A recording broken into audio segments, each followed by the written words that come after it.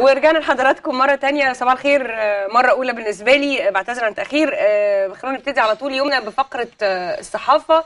آه، وأهم الأخبار المنشورة في جرايد النهاردة. بس عايز أكد النهاردة يوم تاريخي. النهاردة 10 مارس. النهاردة فتح باب الترشح للانتخابات الرئاسية الأولى بعد الثورة والأولى في حياة ناس كتيرة إنها نحضرها ونحس إن في مرشحين كتير. أيا كان عددهم هيبقى كتير قوي أيا كان هيبقى فيه حاجات كوميدية أكيد وحاجات محزنة أكيد. بس النهاردة يوم تاريخي بعتقد كلنا لازم نبقى واعيين له كده. خلينا نرحب بضيفنا اللي بي- اللي بيشرفنا في الاستوديو علشان يعلق معانا ويحلل لنا كده الأخبار المنشورة في جرايد النهارده. أستاذ خالد البلشي مدير تحرير جريدة آه، البديل الإلكترونية. نهارك سعيد. صباح الخير مالك سعيد. آه، أنا سعيدة والله ب 10 10 مارس يعني حاسة إن إحنا بنصنع تاريخ جديد يعني 10 مارس ده يفضل يوم مهم في حياتنا مش كده؟ آه مهم بس أنا أعتقد إن إحنا محتاجين وإحنا بنشوفه بنفتكر اللي عملوه بالمناسبة. آه طبعا يعني أنا امبارح كان في حدث مهم جدا يعني أو حدث لابد من التوقف قد- قدامه هو وفاة والد الشهيد أحمد بسيوني. إحنا في 10 مارس النهارده بنتكلم على فتح باب الترشح للرئاسة. والد الشهيد أحمد بسيوني بعد سنة من من استشهاده مات من غير ما يشوف قصصه. فيعني ده لازم نتوقف قدامه ولازم نعرف. أنا أول امبارح سمعنا إن في اتنين اتعدموا وخمس وثمانيه خدوا مؤبد عشان شهيد في القوات المسلحة. آه، كل قبلها كل الناس بتاخد براءات في مهرجان البراءة الجميع اللي حصل. أنا دايما شايف التناقضات دي. في- واحد مات فتعدم اتنين و آه، آه، وثمانية خدوا بين مؤبد و15 سنة. في ناس استشهدوا لغاية دلوقتي حقهم ما جاش ولغاية دلوقتي القصاص لم يحدث ولم يتم. دول هم اللي صنعوا بالمناسبة اللي حصل اللي صنعوا هم الشباب اللي استشهدوا في الشارع. اللي صنعوا اللي هم الشباب اللي في الآخر بي اللي قتلوهم بيطلعوا براءة بدعوى إن الثورات ما بتروحش عند الإقسام مع إن تاريخ الثورات في العالم كله بتستهدف الاقسام أصلا في البداية من البداية يعني. كرمز يعني آه كرمز للفساد. و- دي دي 30 سنة تعذيب. دي 30 سنة كان الاقسام بتنتهك حقوق المواطنين. فأنا آه، ده وده بيحصل في نفس الوقت اللي بيتم تهريب ناس تانية بره أنا الحقيقة أنا أعتقد إن من حق آه، أحمد بسيوني ومن حق كل الناس. على الأقل في اليوم اللي ده اللي هو بداية لو فتح. اعتبرنا ده إنجازهم نفتكرهم. ونفتكر إن هم لغاية دلوقتي حقوقهم ما جاتش ونفتكر إن اللي قتلوهم بياخدوا براءات. هي بس كمان أقول إنه أنت بتتكلم على اللي عند الإقسام لا أنا كمان حتى لغاية دلوقتي اللي كانوا اللي اللي في التحرير نفسهم. أحمد بسيوني مات في التحرير. أحمد مسيو بس من يعني هو نفسه استشهد في التحرير. في التحرير فإحنا يعني. أم، يا رب يعني مش عارف ربنا يصبر أهلهم يعني. طب نبتدي بالأخبار اللي معانا النهارده. يا أستاذ خالد نستعرض كده سريعا من مصر اليوم. معركة الرئاسه تبدأ رسميا. النهارده هجوم جماعي على منصور حسن واللجنه العليا للانتخابات. الشروق أربع مسيرات مختلفة ثلاثة ضد العسكر والرابعة معاه. من الأخبار اشتباكات بين المتظاهرين حول السفارة الأمريكية والخبر ده هيبقى فيه تفاصيل كتيرة دمها خفيف. خلافات بين القضاة حول قضية التمويل الأجنبي. من مصر اليوم فتنة التمويل الأجنبي غضب القضاة مستمر والقضاء الأعلى لا تحقيق في سفر الأمريكيين. الشروق الأغلبية تتراجع عن سحب الثقة من الجنزوري. المصري اليوم الحكومة توقع قرض ال 3.2 من عشرة مليار دولار الشهر الجاري. وأخيرا من مصر اليوم البرلمان يتجه لتأجيل موعد انتخاب تأسيسية الدستور أو لجنة المئة نبتدي بمعركة الرئاسة اللي بتبتدي النهارده. في هجوم جماعي على آه، منصور حسن آه، رئيس اللجنة الاستشارية وزير الإعلام السابق.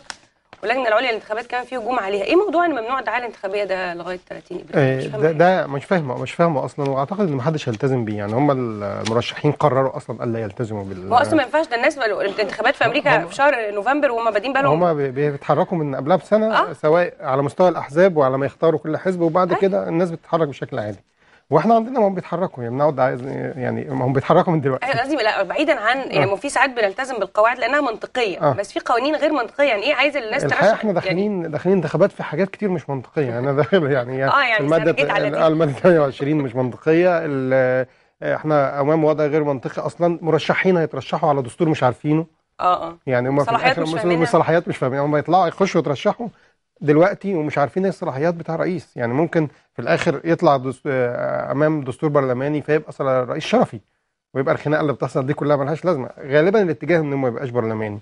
بس الفكرة إن أنا مش فاهم أصلا إن إحنا نبدأ معركة ترشيح للرئاسة في دون وضع قواعد من س- الرئيس هيكون مصالحياته إيه أصلا؟ آه.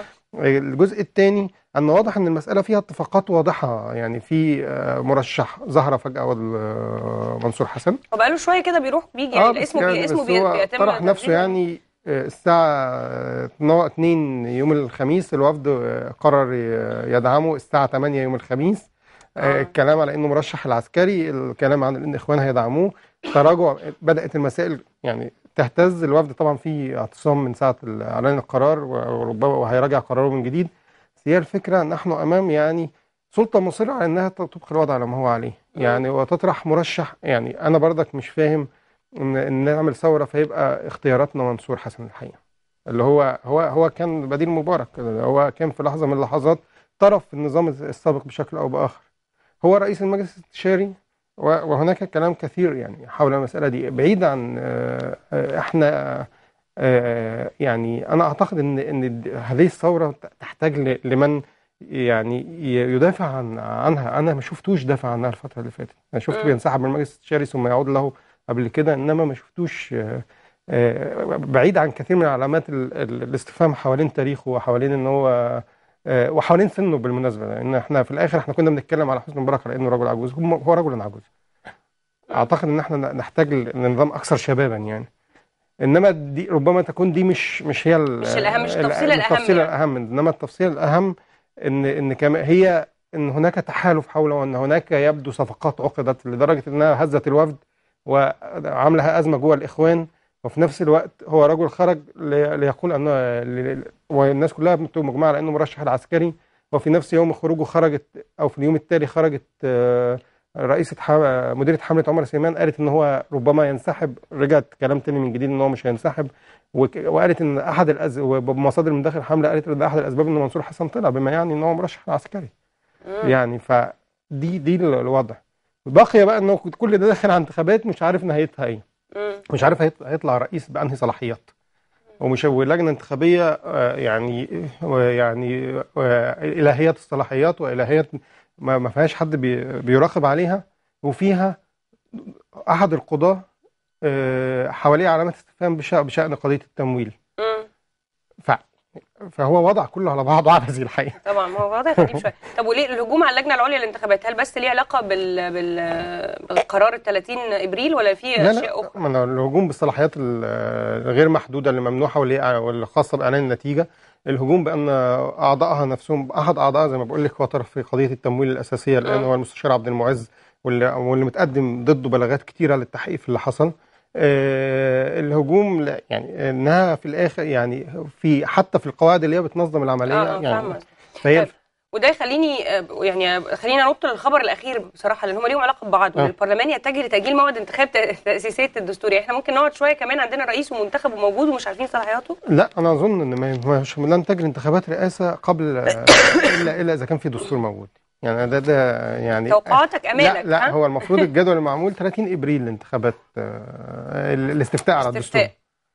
هي الفكرة ان إن إحنا دلوقتي آه، 30 إبريل إيه؟ 30 إبريل. إبريل ده آه. يستفتون على الدستور؟ آه. ومش هيقعدوا ست شهور لسه؟ لا لا ما أظنش. والحاجات. الأرقام مش ما هو. هو المفروض حسب الجدول الزمني الموجود في الإعلان الدستوري ده لسه ممكن نقعد سنة. آه. آه بس هي الفكرة إن باننا دخلنا في عملية صلق بيض في كل ال- الحاجات نتيجة الضغوط اللي تعرض لها العسكري في الشارع ونتيجة إن ال- إن إن الاداء السيء والشديد السوء اللي حصل خلال الفترة الانتقالية ونتيجة حاجات كتير جدا. فإحنا أمام بننجز آه، دستور بشكل سريع جدا وده كان وده يعني لو حبينا نرجع للأول كنا قلنا إن المفروض القواعد تنظم من البداية. طبعا. آه آه، فدلوقتي الكلام على فكرة إن هم يحصل انتخابات هي الفكرة إن هو كان محدد 24 مارس لانتخاب أعضاء ال- آه. اللجنة التأسيسية. هو في بعض الخلافات على من يريد على طريقة بس في الآخر أعتقد إنها تحسم لصالح اختيار الحرية والعدالة باعتباره الحزب اللي هو صاحب 40 60 يعني؟ آه 40 60 اللي هو صاحب الأغلبية في مجلس الشعب. رغم طبعا المجلس حقوق الإنسان امبارح طلع بيان آه، قال لهم يعني أوصى فيه بأنه ما يكونش في أعضاء من البرلمان داخل جمع أصلا آه. لأن البرلمان نفسه ربما يطعن عليه.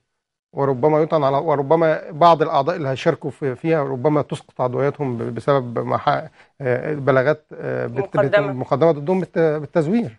بالتزوير لهم يعني أصلا ده في ده وفي كمان حاجات ليه حاجات ليها علاقة ب ب ب بت- بالمصلحة. تلت- لا بتلت كمان المجلس الفردي اللي, تنافس عليه القوائم وده يفقدهم عضو ده دي دلوقتي. مطروحة قدام الدستورية يعني في آه في آه. كذا قضية قد أصلا بتشكك في صلاحياته غير كده هو هو هيضع دستور يحكم قواعد القواعد اللي هو بي اللي بيشتغل بيها أه. يعني هو في عنده مصلحة ألا يغير الوضع أو إذا غيره آه. يطلع بند كده على جنب يقول لأ على خلينا قاعدين. خلينا قاعدين. على قديمه آه بالظبط يعني. طيب.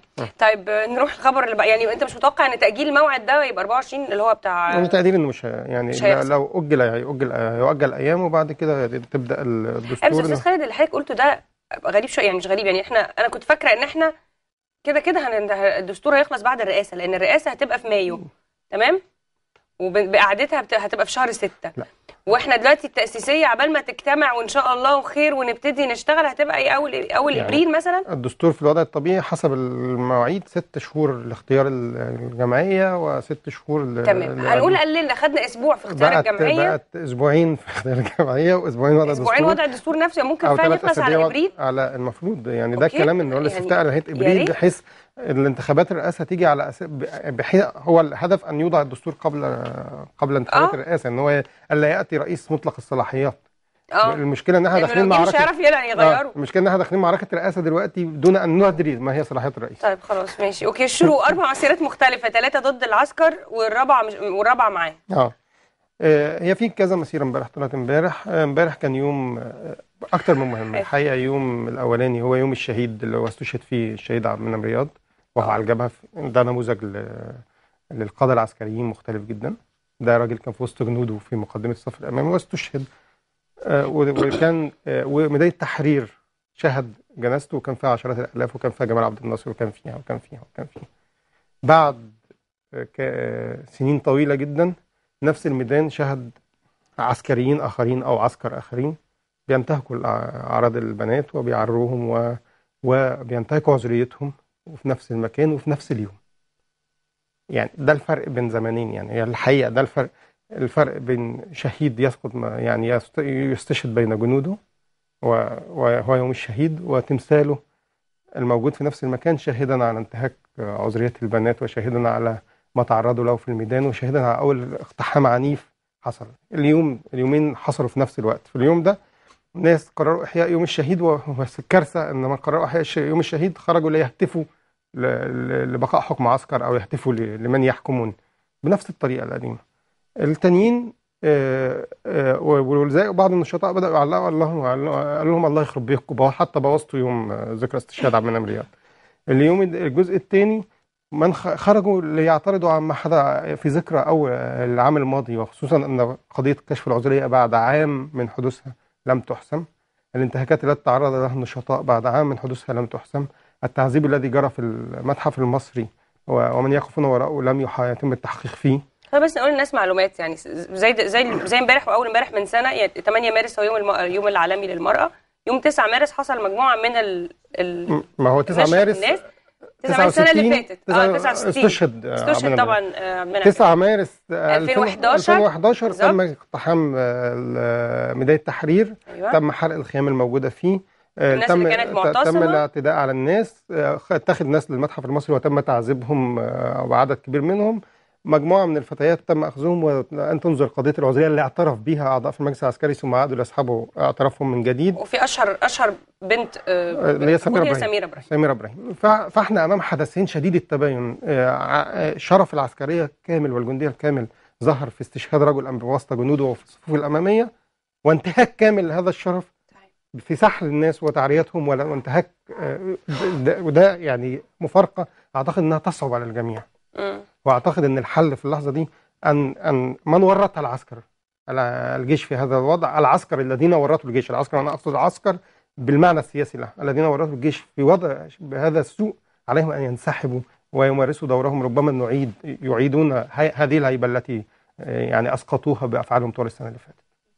آه، من الأخبار برضو ليها علاقة باللي حصل امبارح آه، في محيط وسط المدينة اشتباكات بين المتظاهرين حول السفاره الأمريكية الحقيقة ده بقى هو المشهد هو هو مش بين المت... يعني ده المشهد الفرس ده المشهد ده. الفرس في ال- اللي هو. اللي هو امبارح الحقيقة أنا مش الحقيقة أنا عندي يعني عندي يعني أنا متصور إن عكاشه يروح عند السفارة الأمريكية ويهتف نشرح الناس كان في م... كان في مؤيدين كان في دعوات من. الإعلامي آه، دكتور توفيق آه، عكاشة آه، عمل دعوة إنه الناس تروح تتظاهر عند السفارة الأمريكية تنديدا لسفر الأمريكان إلى الولايات المتحدة الأمريكية آه. بهذه الطريقة. بالظبط.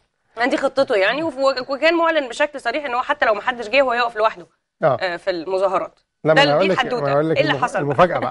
لا هي الفكرة الأول طبعا رغم أن الدعوة غريبة لأن الحقيقة اللي صفر الناس واللي سمح بالطيارة بس هو المجلس العسكري مش السفارة الأمريكية. يعني الحقيقة أنا لو أنا هضغط هضغط هضغط على اللي انضغط عليه على على التابع اللي عندي. مش على من يضغط على التابع وناس لأن كمان بترعى نظام مصالح. رعاياها يعني لو, لو مش- إن عندي نظام مستقل مش هيخضع لضغوط آه، سفارة. فالحقيقة أنا ضغطي ربما يكون عند المجلس العسكري عند مبنى المجلس العسكري. بس اللي حصل أن هناك مظاهرتين. مظاهرة تطالب بخط يعني بترفض المعونة وبترفض وجود السفارة الأمريكية وده مبدأ جزء مبدئي أصلا لدى الكثير من المتظاهرين في التحرير. المظاهرة الثانية بتاع عكاشه اللي حصل إن الناس راحوا وبعد كده مظاهرة عكاشة جت فالناس كانوا بيهتفوا في وسط في وسط هتافاتهم اللي هو مظاهري التحرير يسقط حكم العسكر. فبدأت اشتباكات آه، بين الطرفين. ال- الحدوتة بقى اللي يشوفها آه، عكاشة في المنطقة بتاع السفارة الأمريكية دي مقفولة من كل الاتجاهات. آه ما هو دخل بعربية جوه. لا بجد؟ آه هو دخل بعربية نص نقل وعليها. مقفلة تماما آه. دخل بعربية نص نقل وعليها هو هو وحياة الدرديري فوقها. وبيهتفوا بيقود بيقودوا المظاهرة. الحقيقة وأنا عارف هو دخل منين هو دخل من شارع ما بيخش منه إلا عربيات الجيش والأمن المركزي. لا بجد؟ آه فمعناه إن هو دي فتح- معلومات آه دي يعني معلومات أكيد. مسؤوليتك طبعا. ماشي بدأ بدأت ثم بدأت اشتباكات من جديد والاشتباكات اتطورت ان تدخل بعض بتوع التحرير. وفي النهاية ش- الجيش انضم لصف عكاشة وبدأ يحدث على المتظاهرين ورا خرطوم. فبقت المسألة يعني نوع من ال- سقط 25 مصاب. مصاب في معركة عكاشة. والحقيقة أنا بسميها معركة عكاشة لأن أنا مش فاهمها أصلا. يعني الوضع كله عبثي أصلا آه في طبعا. حول طبعا. حول السفارة الأمريكية. هو المشكلة كمان المظا- المظاهرتين كانوا بيطالبوا بنفس المطالب. آه. يعني ثم اشتبكوا. لا ما بس في آه بس هي الحدوتة بتاع العسكر. آه دي اللي, آه اللي هم. سمحوا له ودخلوه نفس المكان بالمناسبة. هو. ده برضه علامة استفهام ها؟ محتاجين أعتقد محتاجين إجابات يعني طيب من الأهرام آه، خلافات بين القضاة حول قضية التمويل الأجنبي أنا أعتقد إن الخبر اللي بعده كمان فتنة التمويل آه هي ولا- أخبار ما في أخبار ليها علاقة ببعض طبعا فترة آه. التمويل غضب القضاة مستمر والقضاء الأعلى بيقول لا تحقيق في سفر الأمريكيين خبرين لهم علاقة ببعض واحد من الأهرام وواحد من مصر آه. اليوم آه إن- طبعا قضية التمويل معروفة اللي انتهت بسفر الأمريكيين آه، اللي هو الطيارة نزلت قبل صدور حكم المحكمة آه، استقرت في المطار انتظرت الناس وبعد كده قالوا إن في صفقات أموال. الأمريكان طلعوا قالوا ما فيش أموال أصلا ده كلام فاضي. وبعدين آه، وقفت الطيارة حملت. وانتظروا بالمناسبه من المعلومات إن هم كمان انتظروا الجنسيات الأخرى كي يستقلوا الطيارة يعني ما خدوش الامريكان بس هم خدوا الكل. والله آه. في برضه بقى, بقى أمريكي واحد رفض قال لهم لا أنا مش مسافر. آه. إنما الباقي كله متجوز مصرية مثلا آه. تلاقيه لا عشان لا، هو قال أنا واثق. في أنا واثق في اللي بيحصل هنا. فالطيارة خدت الناس وسافرت.